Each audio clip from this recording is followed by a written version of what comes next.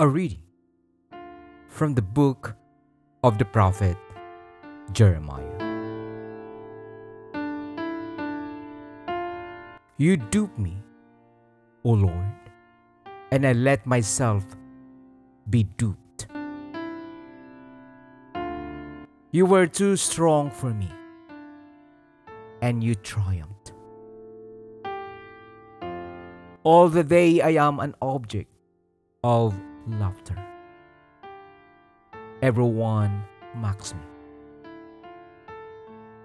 Whenever I speak, I must cry out.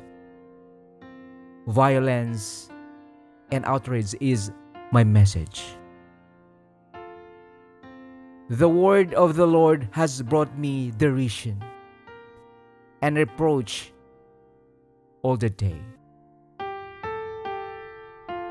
I say to myself, I will not mention him.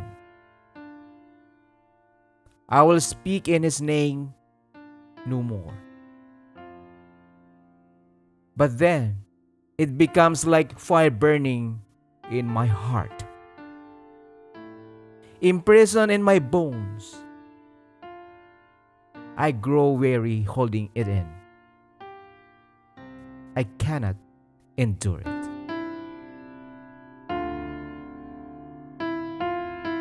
The word of the Lord.